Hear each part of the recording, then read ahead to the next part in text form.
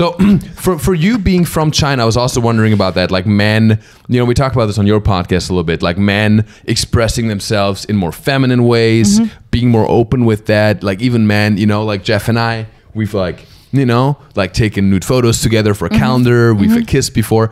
How was that for you? The transition coming from China because you were born in China. Mm-hmm. Like, how was the transition like going from that environment to Los Angeles, where it's like super fluid and queer and and um, and open? At the beginning, um, before I know so much about the American culture, I because I've never seen any gay people that's alive in China, Yeah, so fair, I didn't fair, know fair. that's the real thing. Yeah.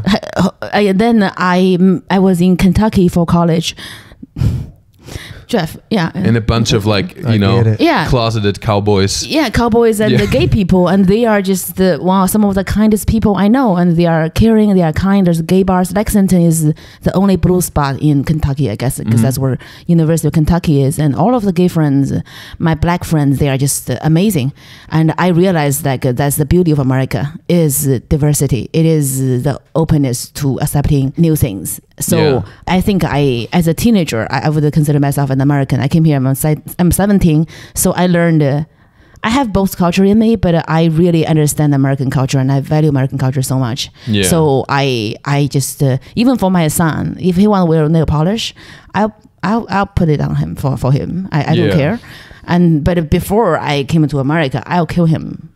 okay, okay. I will choke Wow. him. Yeah, it's, it's legal. It's, if they are failures, you can kill them before they are five. It's not like a big deal. Is, is that a fact?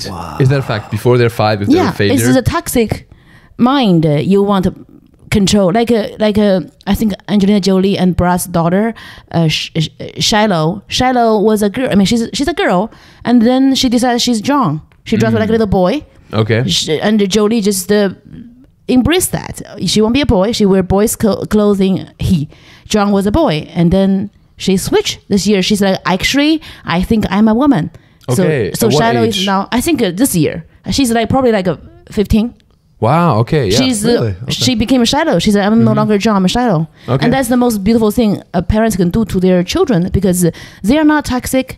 They Yeah. love who they are for who they are. yeah. And that's the best way for them to explore and find it. And I Wow, want to, to be a parent like that to Yeah. my children. My son want to wear nail polish. He, he didn't want.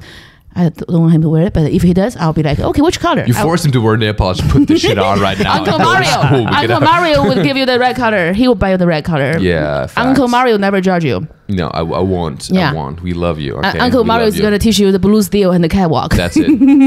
yeah. I'm gonna do that. I'm gonna do that. yeah, Yeah. so I, I think right now I'm just uh, I, I really I'm really um, open and I, lo- I love uh, the queer community and uh, I just feel like uh, because I'm a mother so uh, I can lie to you be like oh I love gay people but when my son is trying to wear a skirt I'll beat him up Yeah, well, but that's, I have a children lot of people now like they, they like the concept and they're open about that. I support you know the whole you know But, trans, yeah. non-binary, queer, whatever it is, right? But then when it comes to my, their own son, they're yeah, like, they nah, stop talking nah, to them like they a- take that disown them right? No, yeah. so many gay kids they are disowned by their parents Mm, yeah. they feel like uh, it's their fault Yeah. and uh, I, I want my children to just uh, be whatever the fuck they want